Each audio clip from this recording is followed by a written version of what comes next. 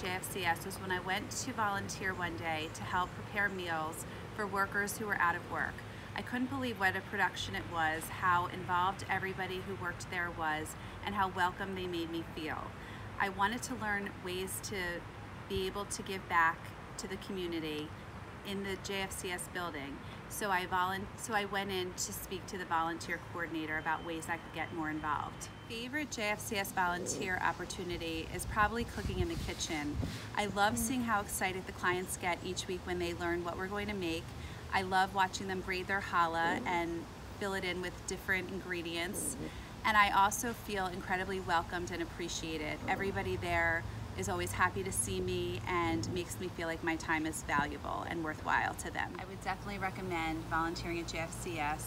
Every time I go, I look forward to seeing all of the clients and I know it's going to be a day when I leave feeling like I've made a difference. There's so many opportunities and ways you can help and it means so much more to give your time than just make a donation to a charity. So I would highly recommend that everybody checks it out.